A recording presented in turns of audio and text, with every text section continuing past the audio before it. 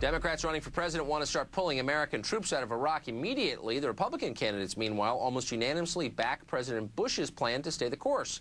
But not Republican Congressman Ron Paul of Texas. Paul opposed the war from the start. He voted against the original war authorization back in 2002. What does Ron Paul make of President Bush's comments that al-Qaeda will fill the void if America pulls out? And what about today's national intelligence estimate that says al-Qaeda is more poised than ever to strike us here at home?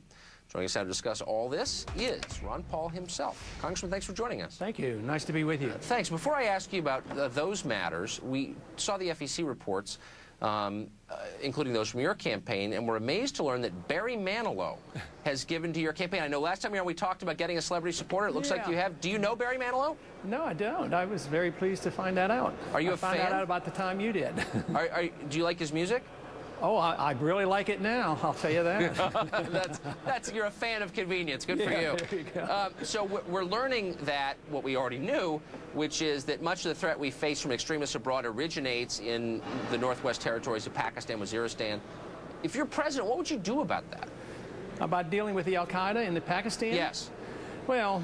Um, you're not going to deal with much until you change foreign policy, but I did vote for the authority to go after Osama bin Laden in that area, and we sort of backed away, and there's a problem there. Now it's compounded by the fact that the al-Qaeda now has an incentive for growth. We had no al-Qaeda in Iraq, and now it's growing by leaps and bounds. And this idea that if we leave, al-Qaeda will come in, exactly the opposite occurred. They weren't there until we went in. So I think we should deal in a very, very targeted way to go after the leadership of al-Qaeda and go after Osama bin Laden and, and do it with as much permission as you can get, you know, from the governments involved, which is really Pakistan. But, but Pakistan doesn't permit us to do it.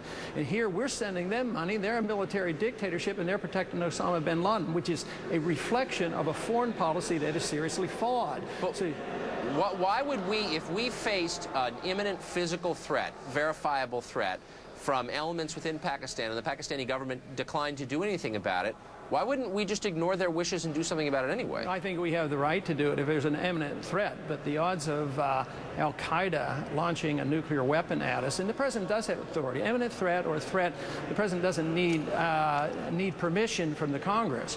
He should get permission for a declaration of war, and we wouldn't be in this mess that we have.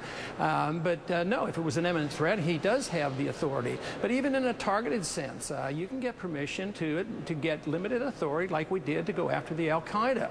Uh, unfortunately, though, uh, the president took this authority and got into nation building, and uh, now we're in the in the process of nation building in two countries over there, and they're, neither one's going very well. At the same time, we're threatening to go in and start bombing Iran, and that's the kind of policy that I think is so detrimental and dangerous to our country.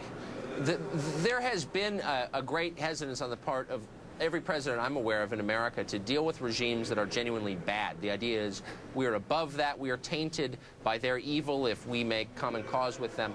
Are you bothered by that? I mean, is there any regime that we should just not deal with because they're morally repugnant? Well, basically, you try to avoid that attitude because you really want to talk to as many people as possible and trade with people. I mean, we dealt with the Chinese, and that wasn't a bad idea. We trade with them now, and we're very much less likely now to have a war with China. So I would say you deal with these people. We talk to the to the Russians, so why can't we talk to to the uh, to the uh, Iranians? It makes a lot of sense to me that we should talk to them. If we talk to these other regimes, it's this attitude that we should isolate ourselves from the world and just uh, be belligerent and threaten them and put on sanctions. Right, uh, right now, uh, the more sanctions we put on, the more harm we do to the dissidents that are in Iran. So I would say that always backfires. So yes, in, in general, you want to deal with people and talk to people as much as possible.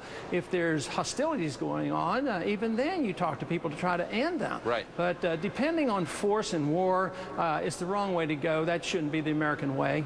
Okay. Congressman Ron Paul of Texas running for president joining us again. I appreciate it. Thanks, Congressman. Thanks a lot.